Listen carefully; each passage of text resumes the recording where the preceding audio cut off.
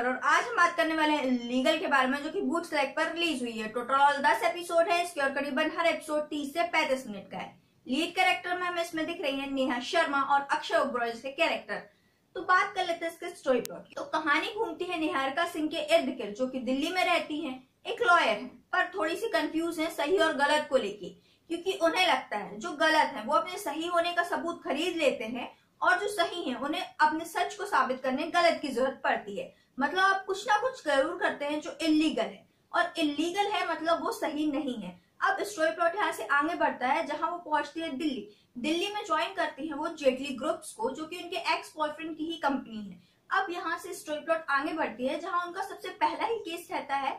बोलते हैं ना, जिन चीज़ों से आप दूर भागते हो, वही चीज़ें आपके बार बार सामने आती हैं। तो नेहा का सबसे पहला ही केस उसके सौतेले भाई का रहता है, जो कि एक रेपिस्ट रहता है।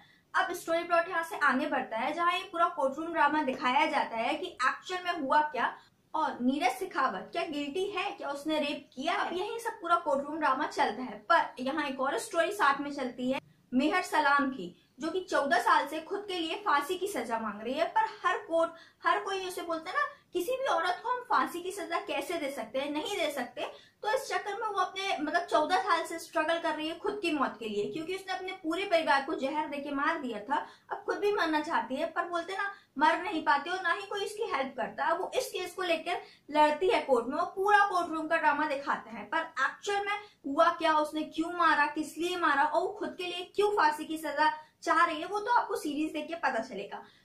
बट मैं एक बार ज़रूर बोलना चाहूँगी सीरीज़ के बारे में। देखिए, पूरा कोर्टरूम ड्रामा दिखाया गया है। मतलब पूरी सीरीज़ में आपको 10 एपिसोड में हर बार कोर्ट लेकर जाएँगे वो। पूरा कोर्टरूम का ही चलता रहता है कि एक्चुअल में ये केस है, ये फ़ाइल है, इसने ये किया, इसने वो किया। बट एक्चुअल में जो विलन है ना, उस तक कोई नहीं पहुँच पाता। बोलते ना, कुछ लोग अपनी, अपने फ्रेम को बचाने के लिए, अपनी चीज़ों को पूरा करने के लिए किसी भी हद तक जा सकते हैं, चाहे वो किसी अपने का मर्डर ही क्यों ना हो, पर वो बच के निकल जाता है, क्योंकि वो बड़े फ्रेम में है, और बोलते ना उनका कोई हाथ नहीं डालना चाहता। अब पूरी सीरीज़ में यही दिखाया गया है कि एंड ऑफ़ द क्लाइमेक्स जब भी आएगा ना दसवें एपिसोड में आप पहुँचेंगे तो सीरीज़ में बस इतना देखने को मिलता है कि जो रियल में विलन है ना, वो बच के निकल जाएगा, अब उसको सेकेंड सीज़न में देखेंगे। आप अब क्या होगा सेकेंड सीज़न में? क्या वो पकड़ा जाएगा या नहीं पकड़ा जाएगा? या फिर थर्ड सीज़न तक हमें फिर से वेट करना पड़ेगा? वो तो अब सेकेंड सीज़न देख के ही पता चलेगा। बाकी हम बात कर लेते हैं इसके प्लस पॉइंट और नेगेटिव पॉइंट की। तो देखिए सीरीज़ की जो एक्टर की परफॉर्मेंस है हाँ अच्छी है। मतलब जो एक्चुअल में होनी चाहिए ना कि देख के एकदम इंगेजिंग लगे। बूट सेलेक्ट हमारे लिए पहले असुर जैसी वेब सीरीज़ लेके आ चुका है। तो बोलते ना, हमें बहुत सारी उम्मीद हो जाती है उससे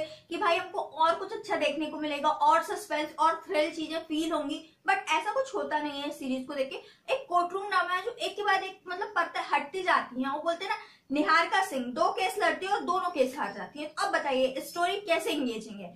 अब यहाँ से स्टोरी प्लॉट आगे भी बढ़ता है तो मतलब कई चीज़ें ऐसी होती हैं जो मतलब एक स्टोरी से कनेक्ट करने की कोशिश करती है, पर एक्चुअल में हो नहीं पाती।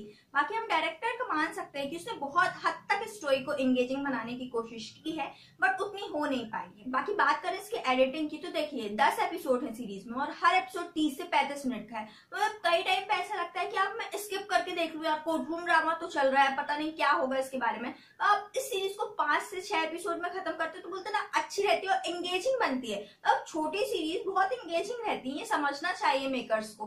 बट चलो ठीक है नेक्स्ट टाइम देखते हैं।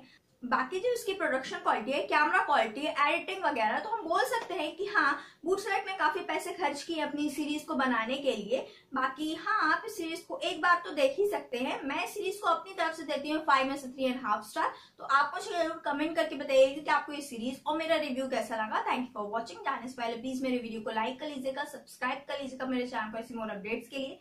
क्योंकि मैं अपने हर न्यू वीडियो में न्यू रिलीज़ वेब सीरीज़ की स्टोरी लेकर आती हूँ बने रही मेरे चैनल पर थैंक फॉर वॉचिंग प्लीज़ मेरे वीडियो को लाइक कर लें सब्सक्राइब कर लें मेरे चैनल को, क्योंकि मैं अपने हर वीडियो में न्यू रिलीज़ वेब सीरीज़ और फ़िल्म की स्टोरी बताती हूँ तो आपके पास नोटिफिकेशन आ जाए।